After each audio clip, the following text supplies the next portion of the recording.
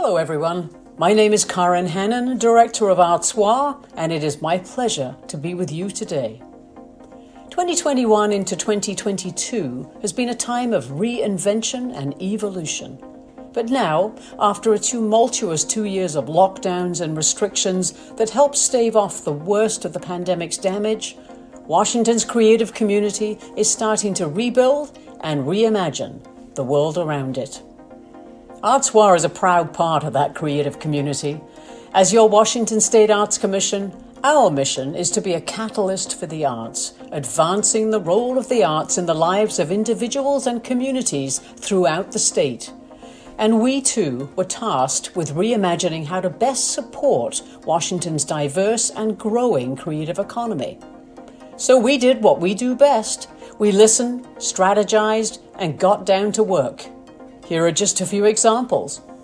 Our Grants to Organizations team reached into 29 counties to distribute over $1.8 million in funding to small, mid sized, and large organizations across the state. We held community forums across the state to make sure your voice was heard in our 2022 to 2027 strategic plan.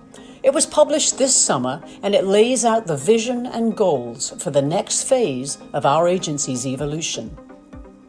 The Arts in Education team supported online, hybrid, and in person arts programming for K 12 students across the state.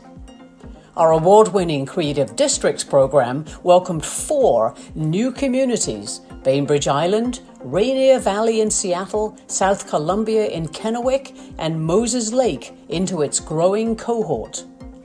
We reimagined the Governor's Arts and Heritage Awards as the Luminary Awards to honor those who stood as shining lights for their communities during the darkness of the pandemic.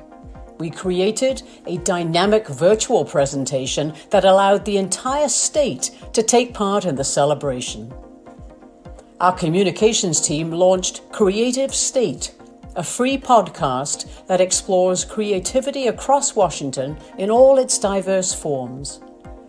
And the Art in Public Places team oversaw the installation of 25 commissioned artworks and four curated collections across 12 counties.